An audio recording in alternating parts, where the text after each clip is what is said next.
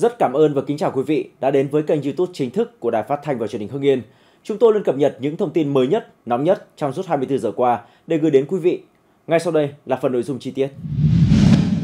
Trong vụ án Chủ tịch phường nhận hối lộ 1 tỷ đồng để làm ngơ cho vi phạm trật tự xây dựng ở Hà Nội qua tìm hiểu, việc này liên quan đến công trình không phép cao 2 tầng, có mặt tiền hàng chục mét nằm trên đường Xuân Tảo, phường Nghĩa Đô. Có thể thấy công trình khiến chữ Mạnh Hùng bị khởi tố tạm giam nằm trên một trong những trục đường đẹp nhất của quận Cầu Giấy, Hà Nội. Công trình kiên cố này được thi công cách đây vài năm. Sau đó, trong quá trình xây dựng, lực lượng chức năng phát hiện công trình không phép nên tạm dừng thi công từ thời điểm vi phạm được phát hiện cho đến nay. Nhìn từ bên ngoài, công trình này do tạm dừng thi công từ lâu nên đã nhúm màu thời gian, một số vị trí tường bên ngoài xuất hiện rêu. Theo ghi nhận tại công trình, hầu hết hệ thống cột chịu lực, dầm mái của công trình được làm bằng những thanh thép lớn. Do hệ thống thang máy chưa được lắp đặt nên chỉ có thể di chuyển bằng hệ thống cầu thang sắt nếu muốn lên tầng 2. Bước đầu, Công an thành phố Hà Nội xác định ông Hùng đã nhận hối lộ 1 tỷ đồng để làm ngơ cho công trình xây dựng, không có giấy phép trên diện tích 1.400 m2, được tồn tại tiếp tục thi công và hoàn thiện. Công an thành phố Hà Nội đang mở rộng điều tra làm rõ trách nhiệm của ông Hùng và những người liên quan khác trong vụ án này. Theo Công an thành phố Hà Nội thời gian qua, các vi phạm về trật tự xây dựng trên địa bàn thành phố diễn ra với nhiều mức độ khác nhau, tiềm ẩn phức tạp, gây dư luận xấu trong nhân dân, ảnh hưởng không nhỏ tới công tác quản lý nhà nước trong lĩnh vực trật tự xây dựng đô thị. Để kịp thời chứng chỉnh tình trạng này, việc xử lý hành vi tham nhũng tiêu cực nhận hối lộ trong xử lý vi phạm trật tự xây dựng là một biện pháp cần thiết có tác dụng răng đe cảnh tỉnh những đối tượng khác. Đáng chú ý, báo cáo hồi tháng 12 năm 2023 của Sở Xây dựng Hà Nội thể hiện, trên địa bàn thành phố có ít nhất 7.326 công trình xây không phép, gần 2.300 công trình xây sai phép. Các địa phương đang tiếp tục kiểm tra đối với 33.580 công trình còn lại. Trong đó, huyện Đông Anh có 5.795 công trình không phép, quận Hai Bà Trưng có 855 công trình không phép, 15 công trình sai phép, đang rà soát 756 công trình, quận Nam Từ Liêm có 559 công trình xây dựng sai phép, đang rà soát 588 công trình. Quận Cầu Giấy có 433 công trình xây dựng sai phép, quận Thanh Xuân có 353 công trình xây dựng sai phép, đang rà soát 3.241 công trình. Quận Ba Đình có 268 công trình xây dựng sai phép, 1.681 công trình đang rà soát. Mới đây, Công an tỉnh Nghệ An thông tin Phòng Cảnh sát Hình sự vừa phá thành công chuyên án, triệt xóa ổ nhóm trộm hơn 2 tấn chó. Ba đối tượng bị bắt giữ bao gồm Nguyễn Văn Điều, chú huyện Hưng Nguyên và hai đối tượng cùng chú huyện Nghi Lộc gồm Nguyễn Văn Duyệt và Nguyễn Văn Cương, trong đó Duyệt và Cương là các đối tượng đã mang nhiều tiền án về nhiều tội danh. Theo cơ quan công an, Nguyễn Văn Điều là kẻ chủ mưu, điều hành hoạt động của ổ trộm chó. Chúng thực hiện hành vi ở nhiều huyện như Hưng Nguyên, Nam Đàn, Thanh Trương, Nghi Lộc và thành phố Vinh. Nguyễn Văn Điều tuyển đàn em có số má với nhiều tiền án tiền sự rồi bao ăn ở. Điều còn cung cấp công cụ, kích điện, bao xác rắn, băng keo, xe mô tô gắn biển số giả để các đối tượng trên hành nghề. Sau khi trộm chó được từ nhà dân, Điều sẽ thu mua rồi đem đi tiêu thụ. Khi thực hiện hành vi trộm chó, những kẻ này liên kết thành ổ nhóm, có sự phân công nhiệm vụ cụ thể và sẵn sàng sử dụng súng tự chế, nỏ bắn để chống trả lực lượng chức năng, người dân nếu bị phát hiện để tẩu thoát. Sau thời gian theo dõi ngày 11 tháng 4 năm 2024, Phòng Cảnh sát Hình sự Công an Nghệ An chủ trì, phối hợp Công an huyện Nghi Lộc và Phòng nghiệp vụ Công an tỉnh phá thành công chuyên án, bắt giữ 3 đối tượng về hành vi trộm cắp tài sản, trộm chó. Ngoài Nguyễn Văn Điều, ban chuyên án còn bắt giữ thêm hai đối tượng khác cùng chú tại xã Nghi Trung, huyện Nghi Lộc gồm Nguyễn Văn Duyệt, sinh năm 2000 và Nguyễn Văn Cương, sinh năm 1998. Duyệt là đối tượng đã có 3 tiền án và một tiền sự về các tội trộm cắp tài sản, cướp giật tài sản. Cũng giống như Duyệt, Cương cũng có một tiền án về tội trộm cắp tài sản. Bước đầu, các đối tượng khai nhận từ tháng 12 năm 2023 đến nay đã thực hiện hơn 50 vụ trộm và tiêu thụ chó trên địa bàn các huyện Hưng Nguyên, Nam Đàn, thành phố Vinh, Nghi Lộc với tổng khối lượng chó trộm được là hơn 2 tấn. Hiện Phòng Cảnh sát Hình sự Công an Nghệ An đang tạm giữ hình sự 3 đối tượng để tiếp tục điều tra mở rộng và truy tìm bị hại trong chuyên án. Để đảm bảo quyền và lợi ích hợp pháp của nhân dân, Phòng Cảnh sát Hình sự Công an Nghệ An thông báo những ai là bị hại của ổ nhóm đối tượng trên nhanh chóng liên hệ với Phòng Cảnh sát Hình sự Công an Nghệ An để phối hợp giải quyết.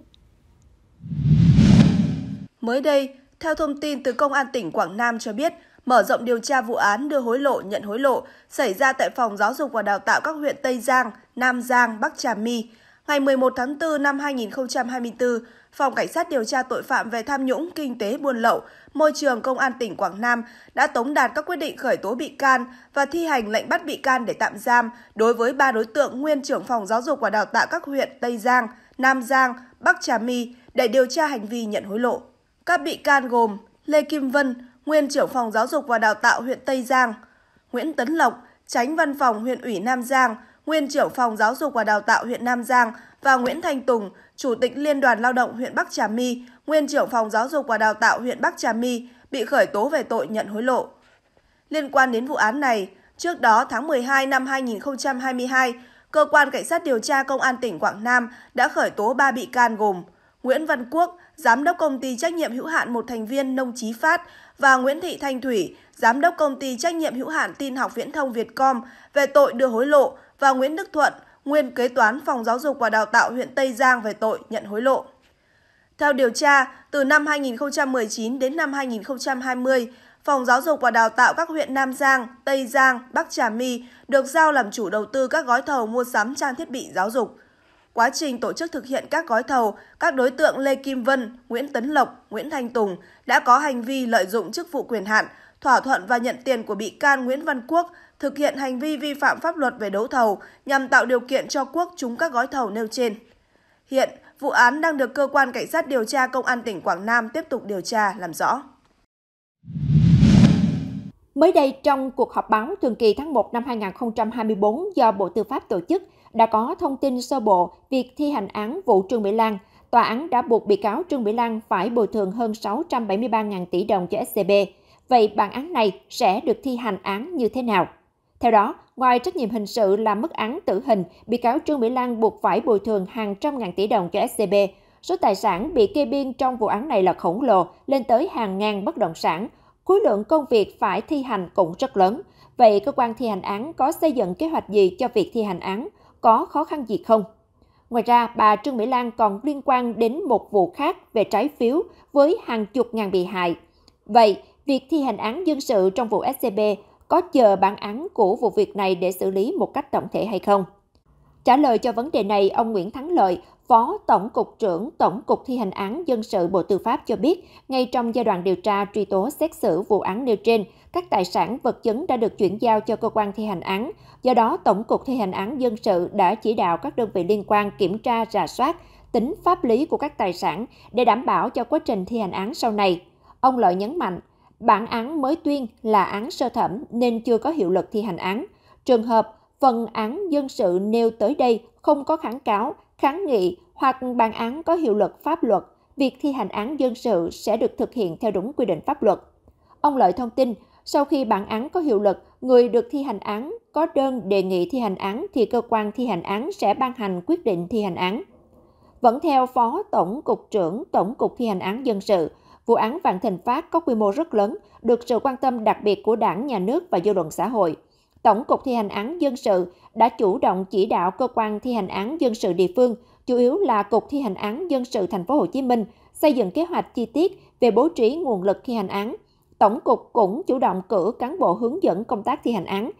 nhằm sẵn sàng thi hành ngay khi bản án có hiệu lực. Đối với vụ án liên quan đến trái phiếu, ông Lợi cho hay khi có bản án có hiệu lực pháp luật, việc thi hành án dân sự cũng sẽ được thực hiện đúng quy định pháp luật. Trước đó, ngày 11 tháng 4, Tòa án Nhân dân thành phố Hồ Chí Minh đã tuyên án đối với bà Trương Mỹ Lan và 85 đồng phạm.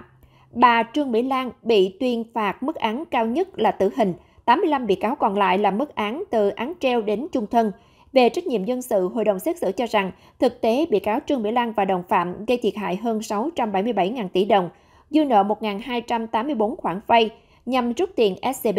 Sau khi trừ đi các khoản tiền đã nộp, bị cáo Trương Mỹ Lan phải chịu trách nhiệm số tiền hơn 673.800 tỷ đồng, tương đương dư nợ 1.243 trên 1.284 khoản vay. Đối với 1.122 mã tài sản đang thế chấp tại SCB, Hội đồng xét xử đề nghị SCB phối hợp với C03 Bộ Công an để xác minh tài sản nào của bị cáo Trương Mỹ Lan thì xử lý để đảm bảo việc thi hành án.